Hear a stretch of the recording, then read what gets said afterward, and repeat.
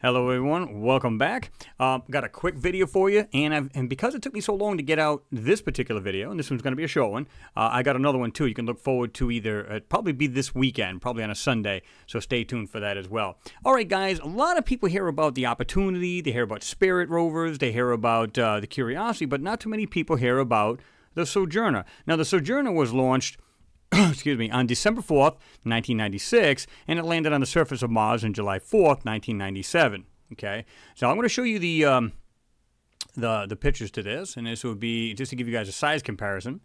Um, you've got the Sojourner right here, and then you've got the Spirit, but you also have the brother or the sister, depending on how you want to say it, uh, uh the Spirit and Opportunity rovers, which this one here was solar powered. You can see right here and so wasn't the Spirit and Opportunity. Now, of course, we currently have this one, uh, Curiosity, which was, uh, I mean, just to go backward, this one here was 1997.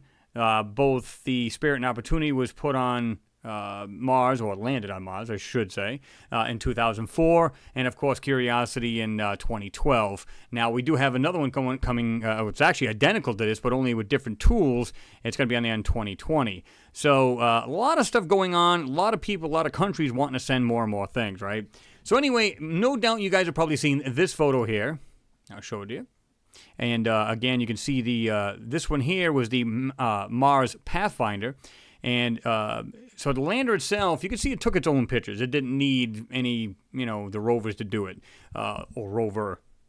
So you can see it right here, the, the Sojourner. And it was very small, so it really didn't pan out too well, other than uh, some experiments it did with the wheels. Now, I'll explain that to you real quick in a moment.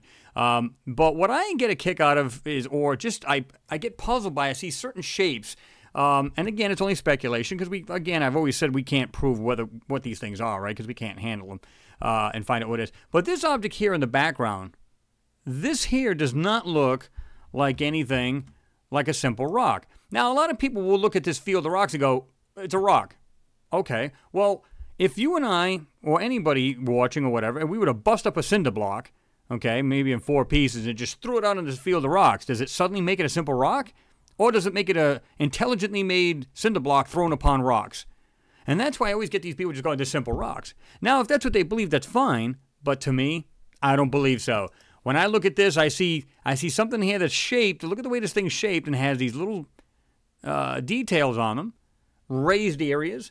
It looks like this thing is actually to the actual left, like it's buried halfway in. You can see the way the shape is completely straight across, comes down, and then has this other angle. What do you think that is, guys? I mean, I couldn't tell you what it is only because it's the same color. And we all know how they do that, right? Well, let's have a look at it this way. Now, I took the color away as far as that rusty, pukey looking color.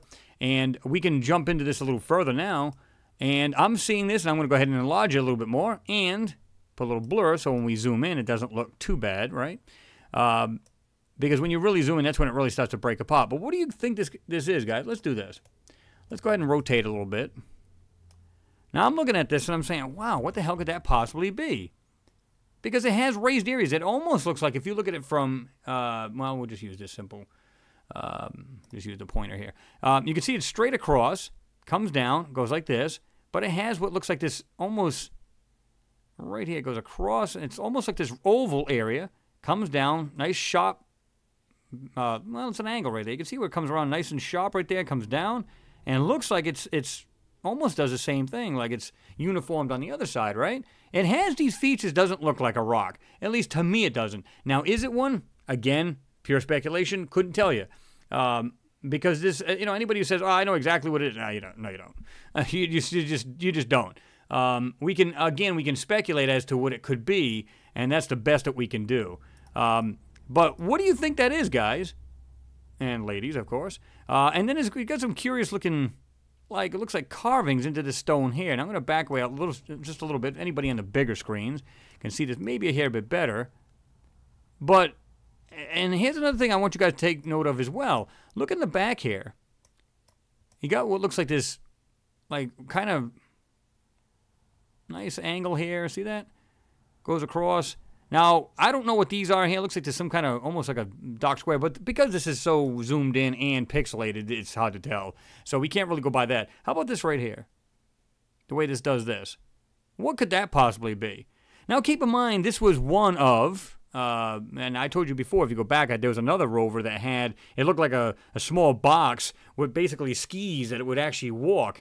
Um, that was the very first uh, rover, if you will, um, that they ever put on.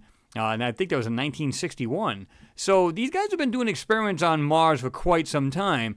And uh, so, yeah, I mean, it's it's pretty bizarre that this, they're still doing the same uh, experiments, trying to figure out the soil. Um, and I'm going to, again, I'm going to show you that in a second. But just look in the back here. There's this nice straight edges right here. And check this out. You can almost see like there's an edge right here of this mountain. See it? Very fine line. I'm going to zoom in just a little bit right here. Why would you see a fine line to a mountain?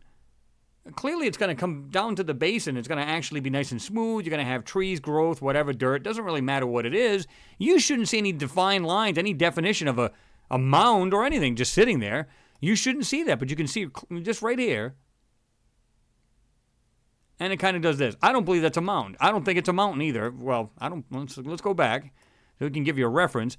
And of course, you can see the, the solar panels to the uh, Mars Pathfinder. Um, I don't think it's really super far away to begin with.